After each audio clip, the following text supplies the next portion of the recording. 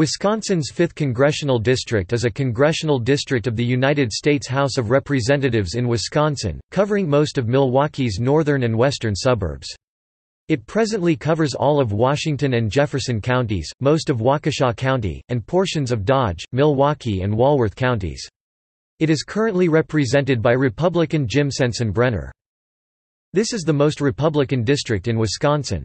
George W. Bush carried the district in 2004 with 63% of the vote.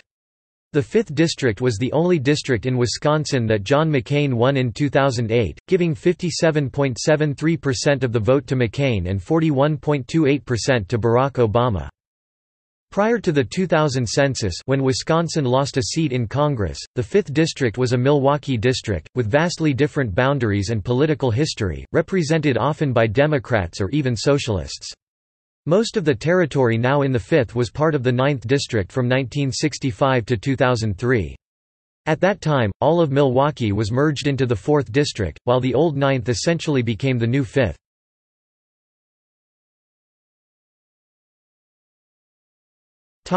List of members representing the district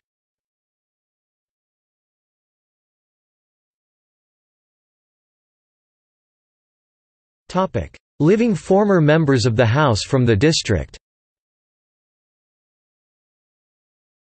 As of April 2015, there are two living former members of the House from the district.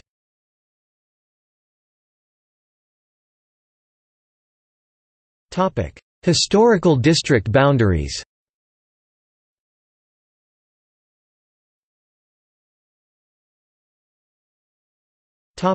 See also Wisconsin's congressional districts. List of United States congressional districts